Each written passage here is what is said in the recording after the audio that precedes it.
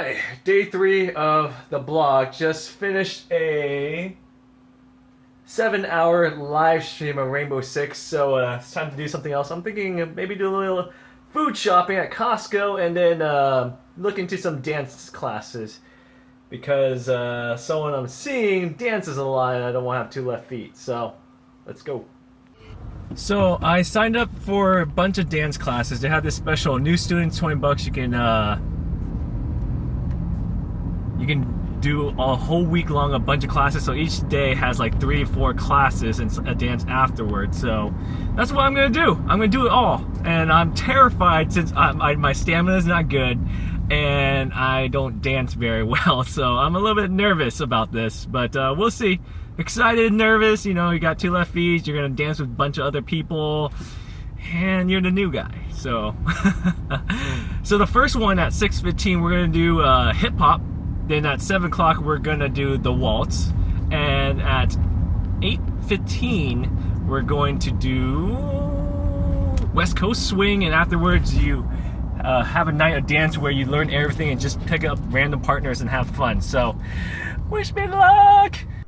Okay, so I just finished dance class. It was from 6 p.m. all the way to 9:15, and it was super long, and I'm exhausted but I will show off a couple moves that I learned. So uh, let me tell you my experience. First class was hip hop, and hip hop is more like a free thing, more like a oomph to your gesture of what you want to do in your expression, motion. It's a little bit more loose where you can kind of do what you want and add your own special flair to it. But and you don't really have a partner to dance with. It's more like a yourself expression, and it requires a lot of energy, and it's exhausting and I was just breathing out, sweating hard. And then the next class I had, which was the Venetian Waltz, it was right after that in the same room, and I didn't really get a chance to breathe and process everything, and I was just like went straight into it. So I was like sweating and like wiping my and drinking water, and then class was starting. So the Venetian Waltz, it's a different type of waltz, and it's a little bit more slower pace, but a lot more technical and. Um, and the more advanced part can get a little tricky. Now, I wasn't doing a hardcore sweat, but the whole time my mind was thinking, okay, the next step, the rhythm, the beat, the next move. And since you're the guy, you lead the girl or the partner that you have to go. So everything kind of falls on your shoulder not to mess up. And, you know, since it's a beginning, beginning class, we were all messing up. But I actually really enjoyed the Venetian Waltz. Uh, and the thing is, you always switch partner like every every like couple minutes you switch partners so it doesn't matter uh, if you're by yourself or you win a couple it's just the way that goes. You just always switch partners. So it, it was a smaller class so we actually i actually went through several same partners. The next class was the um, west coast swing. And the west coast swing it was a full pack class and the room was tight and you also switch partners as well. It's it's more like a, a beat uh, that you have to kind of follow, and the rhythm of the music that you have to know the rhythm to the music. Same as the hip hop. Oh, all music you need to know the beat to it, but it's more technical in the beat, but not as much as the waltz. And guys, you can kind of you're in charge of leading the lady, but the thing is, um, you kind of the lady is dependent on you. Like, uh, there's no like everyone has to follow pace. You can set your own pace, and the lady just follows your pace. And it's kind of tricky to get them to see where it is a constant move forward and backwards, and the girl has to kind of pick up what direction you want to go in. And that class was so full, so we are just rotating a lot of ladies in. Um, and uh, you know, you, I never got the same partner, but it was a lot of fun. So let me go ahead and show you what I learned hip hop if I can remember. I'm gonna go slow since I'm exhausted and I'm not a fast dancer and it was brand new. And the thing is all about footwork, so hopefully you guys can see my feet in it. This room is kind of small. Can you guys see my feet? No? Oh man, it's all about your footwork. Okay, I'll try to make it work with this. But the thing is, we learned the pump, and then it goes like this, and then you can do more shoulder rolls. Like so, once you go up, you can go like a little more umph to it. And then what do we do next? Shoot, what is this? Okay. And you swing and then you move like this. And what else was next? You move and you slide and you do two kicks and then a stop. And then the song was like you don't want to be uh, bothered, so you're like doing this a couple times, and then after this, you pull, you turn, and then after you turn, you have, jeez, what, do I do after turn? Okay, turn, and then you do a kick, yeah, a kick to the right, your back foot in the back, and then a kick to the left, your back foot in the back, and you spin around, and then you go up, wait, okay, you spin, okay, spin, go up, left, right, at like a, a stance right here, and you walk forward and back, and you bounce back. And then you have to repeat that through the song so it can get really tiring. Now for the waltz, we'll do Venetian waltz.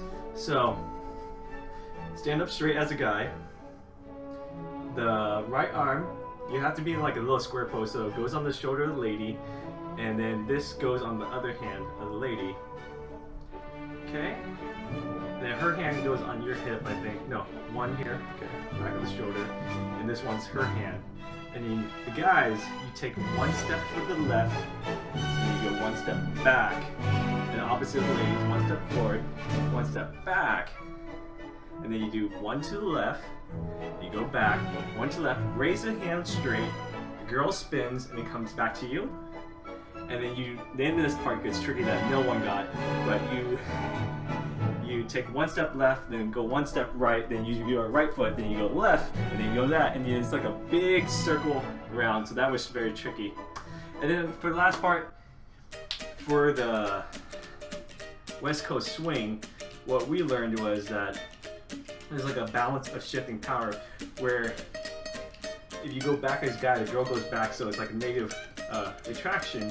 But if you want to bring her towards you, you kind of have to lift up your feet, pulls you, and she keeps going until you stop her. So you can just push, like have her this close, and it's up to you when you want to push her back. But it goes to a rhythm of back, left, triple step, forward, left, triple step, and you can kind of direct that as much as you want based on the beat music and what the guy wants to do. So it's all based out. Put a little video at the end. Tomorrow, we got the hardcore thing called, I think it's the Lindy. It's really hard. Yeah, the Lindy Hop. Now that one's hardcore, sweating, so I'm gonna die tomorrow. So we're gonna do that. All right, take care, everyone. and four, five and six, seven and eight. Then we went into check steps, starting with the left foot. One and two, three and four, five and six, seven and eight. Just work on those and try with music. Get comfortable with them. If you can make this look like you're dancing, and enjoying music with it, then it's going to start coming alive into your patterns too. It won't look so robotic. We talked about a sugar push. We talked about that common center for the holidays. Where I'm leaning away, taking my center, she counterbalances me. This is our and up. Then we went one, two, compression and four, anchor step five and six. And uh, one, two, three and four, five and six. She's gonna hang out there, she's gonna wait until I'm compressing into the ground on one and four, five and six. It's not about the patterns in this dance at all, it's about feeling good through your connection and your timing. It's really, really important versus anything else. Thank you guys very much.